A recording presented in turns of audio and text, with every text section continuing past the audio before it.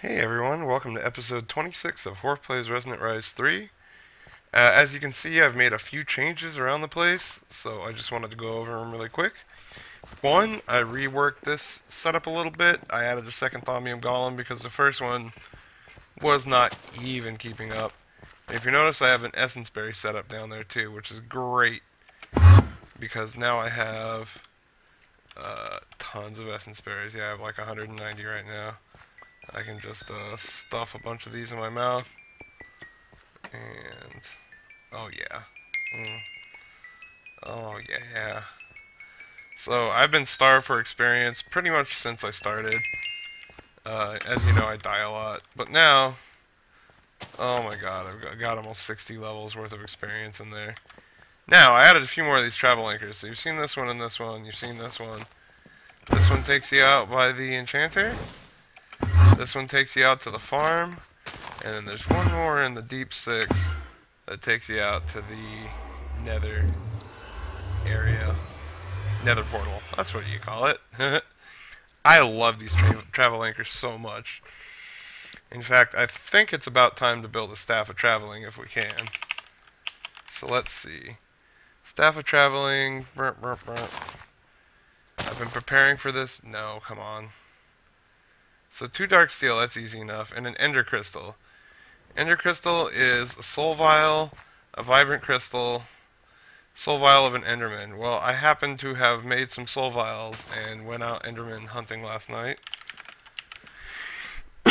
Excuse me. And I got three of them, so I'll just take one of them. Actually, we'll just put them back in the... Well, we're going to have to... Is an enchanting recipe? What is it again? Staff of traveling. I think we're going to have to make a couple machines. New machines. So, Ender Crystal. Yeah, we're going to have to make something called the Soul Binder. Let me see if I can make this, uh... Nope, I need more Vibrant Alloy. Well, that's easy enough. Let me get the Vibrant Alloy, and let's make the Soul Binder, because we're going to need it.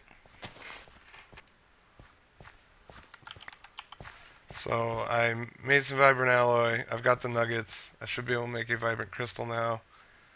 Yes, I can. Excellent.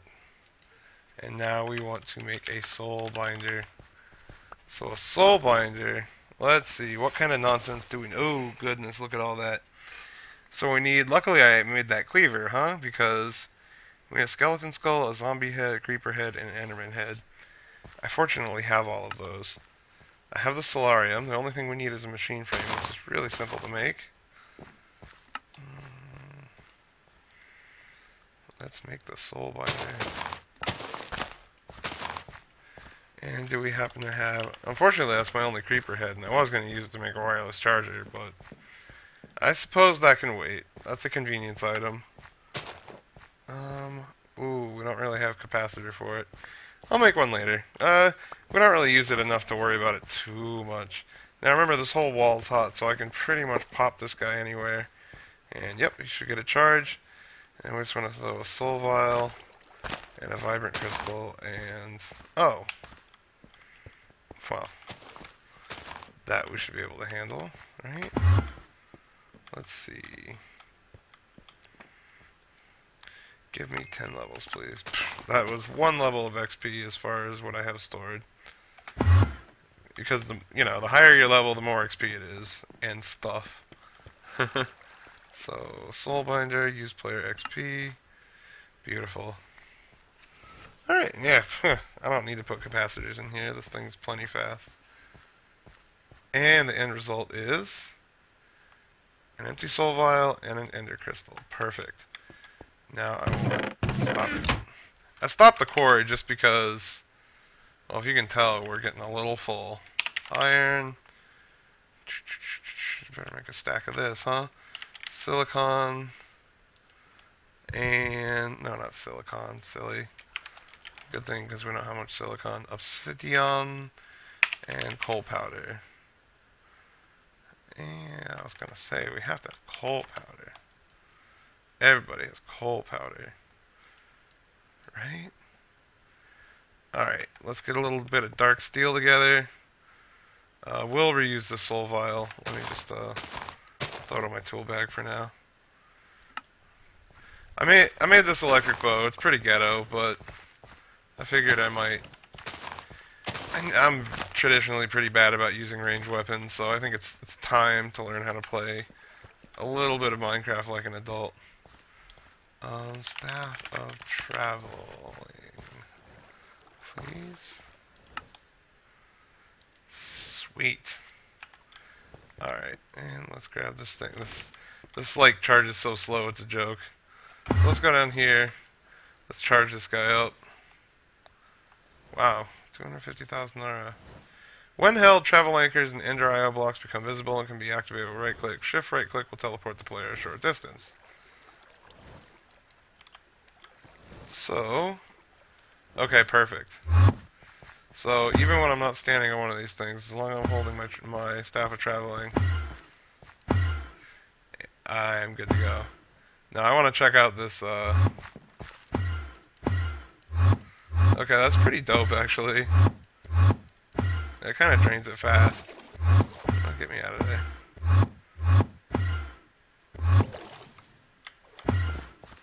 Okay. I love this thing. This thing is kind of the bee's knees. And yeah, I've already drained it though, so I need to uh, probably not be so eager. Cool thing is if I have a flux capacitor, I'll be able to really have fun with that. That plus a jetpack's going to be a lot of fun. Yeah, what's up? Let's go to the bedroom. I love it. Alright, I may have mentioned I have the quarry off because, well, we're pretty much have a glut of resources. Look how many diamonds we have, for example. Yeah, that's 513. God damn, that's a lot of diamonds. More than we have gold, I bet. I know we have 800 gold. We have so many resources, and actually with the quintupling system, it's still pretty slow. So it's taking a while to... It's got a lot of ore to chew through. 1600 freaking copper, god, good lord. So, one problem that's kind of been growing, and the other reason we shut off the core is because our ME system is getting pretty pounded, and we're out of channels, so there's no way we can pop another drive on here or anything like that. So, I've kind of been lazy about it, but I think it might be time to relocate our ME system. I think, uh, we're going to have to get serious about applied energistics now, and we can't just uh, jury rig it the way it is here. Alright, well, step one, we're going to move this stuff downstairs, and I need to be able to do that without resorting to... I really don't want to carry a bunch of discs and all these pieces, so uh, what I'm going to do is uh, get a little bit of sawdust here, and we're going to just make a box of sawdust. Oh. Pulp. It's wood pulp. Make a box of wood pulp. I forget how you make this. It's pretty simple. It comes from trees. We're going to make one... So I think two cardboard boxes is plenty. You really don't want to be shuffling around too many of these. Alright, so instead of having to deal with every individual disk in this drive, we're just going to do that. And same there. Alright, now we're just going to take our fragile boxes down to, uh, see, I got we got a new room. Alright. And we're just going to put them, like, say, here and here. Take the boxes off. Alright, now we got to go grab some more stuff. So, how about we grab the power, oops. Let's grab the power acceptor, and I wonder if this whole thing will go into, oh my god, yes. Cardboard boxes are pretty sweet. They're from Mekanism, and they are pretty sweet. Okay, this is a problem. Alright, I'll just put them... Alright, this one has the block cable bus. This has the energy acceptor. Energy acceptor will probably... Where's the power? Here's the battery. Mm. Energy acceptor would probably be somewhere in the middle. I might actually put it underground eventually, but for now...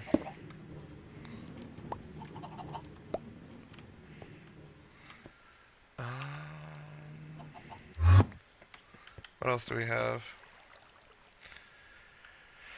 Uh, ore processing, we can just leave B for now. Uh, but hint, if you want to move this guy without, without having to deal with all the components flying everywhere, try putting it in one of those. That's what I'm going to be doing. If I move it, I might keep it up here. But this is supposed to be something I never... This is supposed to be automation, so I probably will end up... Uh, gotta be really careful not to wrench the actual machine itself. Alright. And I guess we'll grab this ender chest for good measure. So basically what we're going to do is move all of our inventory stuff downstairs, set it up there similar to how we had it set up here, and then move on to the next step. Alright, so I had to temporarily, of course I forgot, I need some cable, so I had to temporarily move some of this.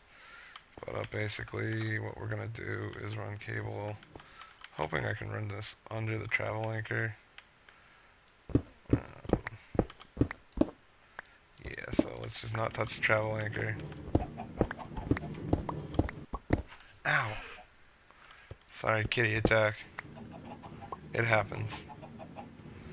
So, I should be able to run this under the travel anchor, right? Like so. Perfect. And then this line was already moved in here for... I used to have a fluid, ME fluid system in here, which we're going to integrate into what we're building, of course. So I'm just gonna run the cable. I love when monsters fall out of the world. It's so... What's the word I'm looking for? It's so redeeming. I haven't actually figured out how I'm to deal with the ME dense cables and the uh, mixing with the power conduits, but we'll figure it out. There's a dense conduit, but we gotta be careful about colors 32 channels per side and all that good stuff. So, but for now, I'm gonna run this bad boy up to there, and we'll just seal this back up. I'll make this room look nice later. Um, there's something. There's an. I, if you haven't known, if you didn't know, there's an item I'm kind of waiting for before I make everything look nice. Uh, two items, really. I have the means to make one. The other one, still a little bit of work involved. Alright, so I'm going to move the energy acceptor here for now. And then we're going to box up these drives one more time.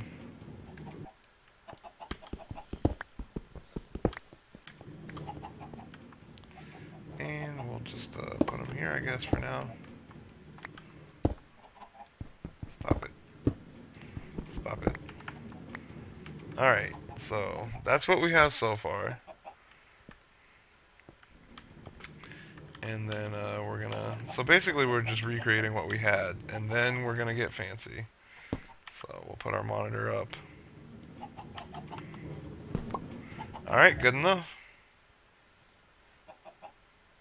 Alright, now I've dug space for a line from here all the way over to here where that gold block is and now I'm going to and some of this is kind of newish to me so bear with me. I'm going to basically upgrade this glass cable. Uh, and can I use green now? Well probably not. Alright so basically I'm turning my just plain glass cable into covered cable Let's see, I should have 40. Cool. And then I'm actually going to color it green. So green.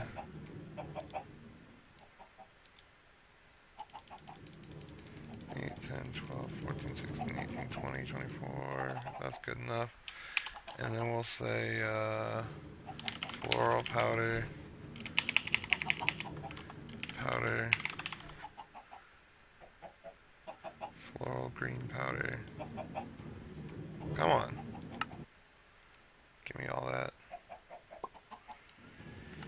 Alright, and then the last step is, I believe, we just take uh, this green and then put it, the cables around it, like so. Alright, so we've got 40 green cables. So basically this is going to be the the green line. I'm basically going to try to break up my different usage of different sides into different colors.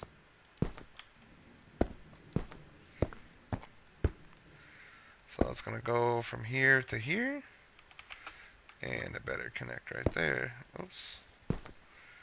Alright, and green should not interfere with any other color. So if I ran a red cable next to this one, my understanding is they won't interfere with each other. So that's good. Alright, this may not work. Again, this is the first time I've done this, but I believe what I need now is dense. So we'll take four pieces of dense cable, green.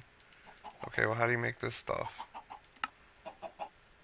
Right, so we'll take two dense cable. Oh. One, two, three, four. Oh, and we have to recolor it? That's a biatch. Any more of the green left? Is it only going to let us recolor it if we have eight?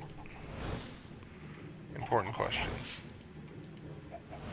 Yes, it's only going to let us recolor it if we have 8, which is pretty lame. Uh, so we may have to wait to recolor these. That's okay. And then I want to make two P2P P2P tunnels. Um, for ME, there's a light P2P tunnel? That's interesting. Alright, so two of these. I think the way this is supposed to work is I can like uh, put so I'll put a dense cable here. Dense cable is 32 channels. It's connected. Put a dense cable here. Dense cable has 32 channels. Actually, I think I might need to drop it one. Put a dense cable here. And then I should be able to slap. Okay, so I had it right the first time. Um, basically, we want to slap a P2P tunnel there. And we want to slap a P2P tunnel here. We have a dense cable there. We have a not so dense cable there. So let's try this again. P2P tunnel dense cable. Again. Uh, what we want actually is dense cable, P2P tunnel here, and then the green line here. That's what we really want. No? No. Like this. And like this. I think that's what we want.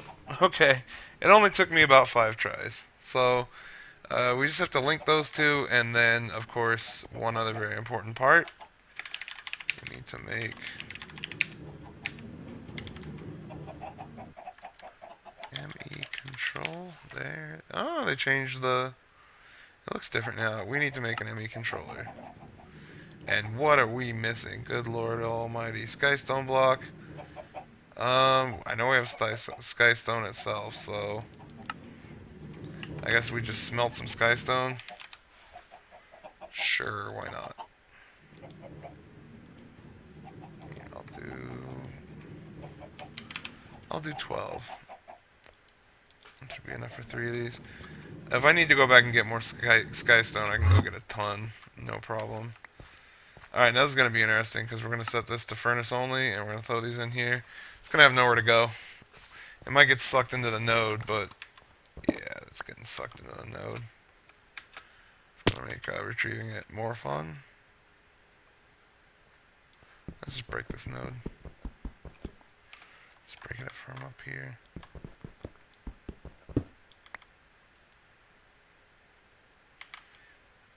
Um, are you still? Are the items still in there? They can't be. No. Alright, well, let me get my Skystone, make the semi-controller, and go from there. Alright, so I broke down and I made enough of this dense cable to color it green. So what I have here is I have a P2P tunnel on this side, P2P tunnel on this side, one piece of the dense cable that holds 32 channels. Uh, that's going to be an ME controller, obviously, and this is going to provide 32 channels to this area. And then these P2P tunnels, if I understand them correctly, will, even though this only holds 8 channels, it's going to tunnel the 32 channels through this 8 channel pipe, whatever you want to call it. So it's like a tunnel, basically. Loaded setting. Okay, I think I want to shift right click on one of these. Saved. And then just simply right click on the other loaded. I think these two are linked now. So if I put down... Yeah, I have a rain muffler down now, otherwise you'd be hearing probably a lot of rain right now. So now if I put down the ME controller right there, it should connect. Alright, it's connected. And it should, I think, be providing 32 channels even via this thin little pipe. And there's actually probably a good way we can tell, which is, uh, actually Smart Cable's not going to tell us. I made this thing called a network tool. I don't know how it works, but let's see. Network details, right. Well, it tells us how much RF we're using. That's good. Alright, well, I think we're just going to have to test it by connecting up another side. So let me just seal this up. And then we're going to run... Oh no, I don't want that D to be in there. Nobody wants the D. Cool. Well, it looks cool anyway, and I think it's going to rock. So we should be able to actually... Uh, to my gold project back now and be like, you know what? How about three, four, five, six, seven, eight. Oh, it didn't like that. I think I have to run the dense cable. I think I move, have to move everything up one. I'm going to give that a try and see if it works. Alright, well I had to fiddle with this for quite a bit to get it to work, but uh, I finally got this P2P tunnel to work. So I put the P2P right on here. I put the energy acceptor here, and I made sure that the energy acceptor was actually feeding energy into the P2P tunnel. It needs to be powered. So that was the thing that was really throwing me off. Now the cool thing is, all this stuff is turned on. I got rid of all the cables that were here. All the energy cables, I don't need them. That P2P tunnel handles it all. That's the only connection I need right there. That goes in the energy acceptor and the ME controller. Uh, P2P tunnel is bringing all the power the ME network needs to this side of the of the building. So we've got eight drives. We've got more than eight uh, channels being used, and it's working like a charm. So we can really upgrade our system now and scale this thing up. Uh, probably going to start with uh, more disks. Well, who knows? There's a lot of stuff we can do. Uh, soon we're going to be able to do some really awesome stuff.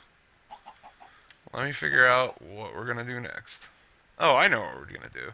We're probably going to try to wire uh, this back up to the house.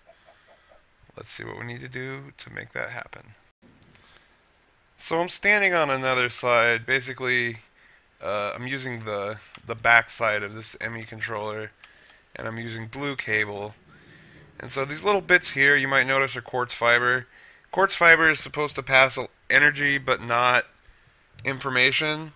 So I'm trying to keep like a I don't know if it matters or not, but I'm trying to keep a break between the green and the blue and all the other colors. Uh, but you do need to run power to these P2P tunnels. I don't know if I showed you how these work, but basically you shift right click on one and it was so hard for me to figure out, I don't know why. But now this is like the source and now you can right click on this memory card to as many destinations as you want. So, we ran this normal covered cable, it's not dense, up into our poor house, which is like torn apart right now. And we've got another P2P tunnel here, and I'm going to hit memory card, loaded. Alright, now I should be able to run a dense cable here, and it connects to this interface. Oh my god, and it already worked. I was going to test it by throwing a block of gold in there and see if it showed up, see if it disappeared, and it, it uh, it's gone. So, Oh my god. And this thing has been quietly working away with whatever ores it had left to process. Yeah, it looks like it's done now, but Okay, fantastic. So now we have a blue line in here that's 32 channels, so we can run whatever ME stuff we need to run up through here. And there is an ME conduit. I don't know all the rules for how it works, but we might end up running ME conduit or dense ME conduit in the walls. I'll have to think about that. Uh, another thing I want to do is get another monitor up here. And if you go, if we go back down to, we go down here, you can see I've got the drives, the drive tower set up. I put those two fluid disks up here, and I put our fluid terminal here. So now we're running items and fluid in the same system. And this is now, apparently, it looks like, connected to this which is sweet. So uh, now I can uh, run another monitor up here, and I can run whatever ME imp. Like I could set the import buses buses back up. Maybe that's what I'll do. All right, let's see. I want to go here, here, here. I want to put. I'm at a crafting terminal. I really love the crafting terminal.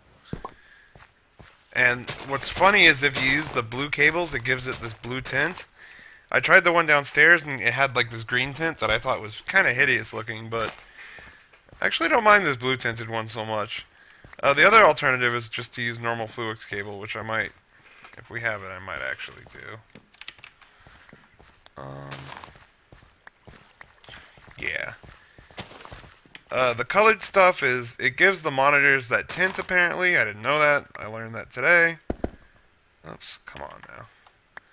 And it also uh, is supposed to keep different colors are supposed to basically stop you from connecting to each other.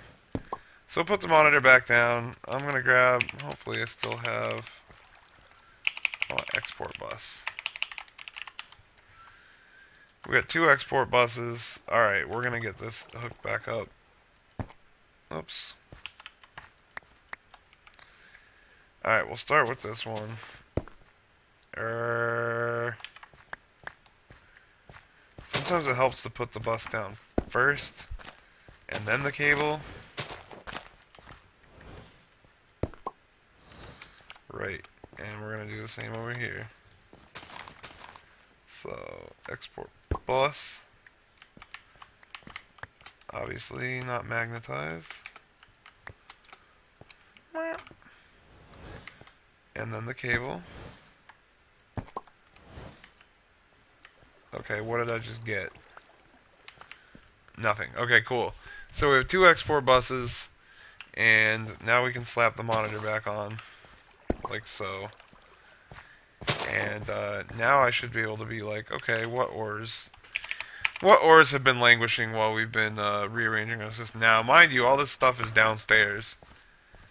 Why don't we give the ores we really like a head start, huh? So we'll do gold. I always like to get my gold processed, so why don't you process that? And it looks like it's getting processed. Great. And we have cards for this as well. Capacity cards. I should be able to slam two in here two in here, and now they have a full nine. Het, het, het. Um, and then ores I kind of want or need, I can just throw in as I as I need to, like yellorite, Yell yellorium. Yellor. Oh, I must have processed it all already. Well, anyway, you get the idea. I can put the different ores in here, like uh, iron. I guess is always a good one, right? uh, 4,000 iron ore. Good God. So I could just throw iron in here for now. And let it process the 4,000 iron ore I've freaking quarried so far. And alright, so we've got the uh, ore quintupling box going again. We've got a terminal up here, even though the ME is down here. So the controller is starting to do work.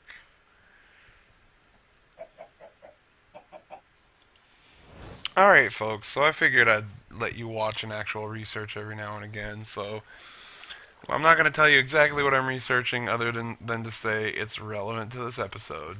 So we need to go from Fabrico to Vacuos in two steps. According to my handy dandy connector, ooh, three steps is going to be the best. Ooh, and it's using Telum, which I know is uh, kind of glitchy. Um, I'm actually going to turn the Telum off and see if there's another three. Alright, Humanus, Lucrum, Lucrum and Fam Fames, Fames, whatever. Whatever you want to call it. So let's go ahead and uh, go that route. So uh, a little bit of Humanus, a little bit of Lucrum, and a little bit of the Hunger. Alright, the line is drawn. Cool. Now we're going to go from Vacuos.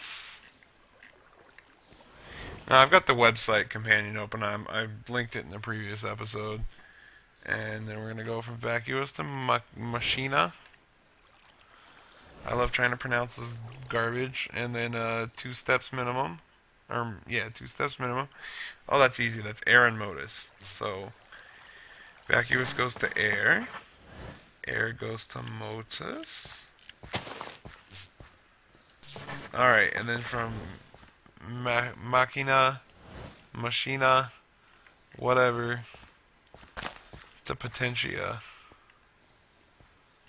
Potentia is easy to say, I like that one. Instrumentium and ordo. So, instrumentium, ordo, boom! Arcane Crafting Terminal.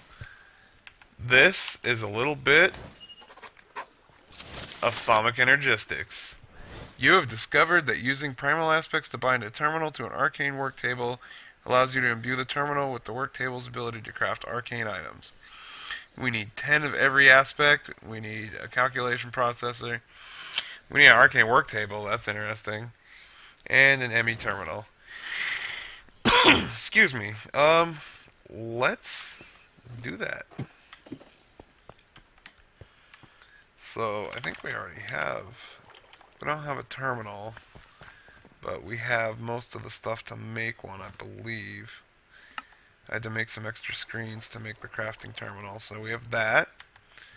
As far as the arcane crafting table go goes, we can uh, honestly just take this one. Let me get my axe out. Hold on. I've just been using a heavily enchanted Viroxes? It's some weird metallurgy nether metal. So what was the other thing we needed? Oh, calculation processor. That's a piece of cake. I should have a ton. I only have 18. Still enough. Oh, you know what? This is not going to work. So, we're actually going to have to make a Thaumcraft table. I have to make this on an arcane work table, so... Wood... If I remember right, it's like slabs. Yeah, I love hearing about zombies that tried to swim in lava. I don't care. Alright, table. So let's put this here, put this here. I think you just... I think you just uh, smack it with a wand? Cool. Okay, now it's an arcane work table. Great. Now I can pick this one back up. And we're to be like, uh, yo, yo. Take this work table, this processor, and this terminal. Sweet. And you know what? Before I do this, it's time to put on the Sanguine, the Sanguine suit. It'll give me that discount. Yeah, it gave me like a 1v discount, whatever.